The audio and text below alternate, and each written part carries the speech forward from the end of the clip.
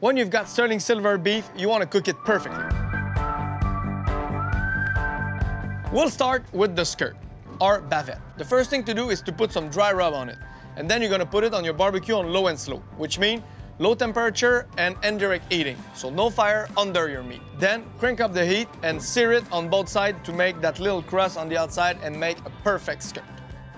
For these cuts of meat, what you wanna do is make sure you have the highest temperature your barbecue can reach. Then what you're gonna do is put some dry rub or spices on each side of your steak and you're gonna put it on top of this super temperature. You're gonna let it go for two minutes on each side, then you put it on indirect heat and you close your lid and you let it go until it's perfect. When you're done cooking it, let it rest for 5 to 10 minutes to make sure the juice is redistributed perfectly inside of your steak. So now that you know everything, happy barbecuing and enjoy!